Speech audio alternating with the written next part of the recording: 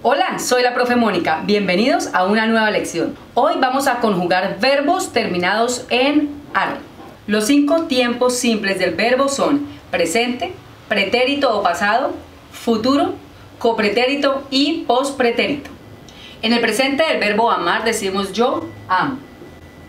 Tú amas. Él ama. Nosotros amamos. Vosotros amáis.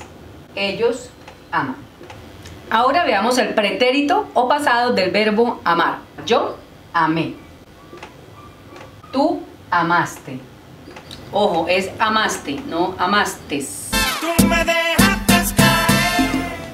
Él amó, con tilde la O. Nosotros amamos. Vosotros amasteis. Y ellos amaron. Ahora vamos a ver el futuro del verbo amar. Yo amaré. Tú amarás. Él amará. Nosotros amaremos. Vosotros amaréis. Y ellos amarán. Ahora vamos a hacer el copretérito del verbo amar. Recordemos que el copretérito es ese pasado incierto que no sé exactamente cuándo fue. Por ejemplo, yo amaba. ¿Cuándo? Mm, no recuerdo cuándo exactamente, pero yo amaba. Yo trabajaba. No recuerdo exactamente cuándo, pero yo trabajaba.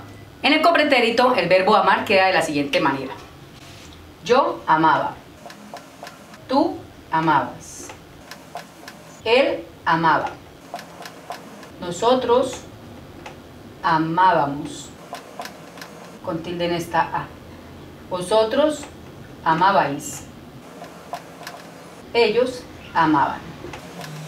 Y por último vamos a ver cómo queda el pospretérito del verbo amar. Les recuerdo que el pospretérito es esa conjugación que requiere una condición. Por ejemplo, yo iría a estudiar si tuviese útiles.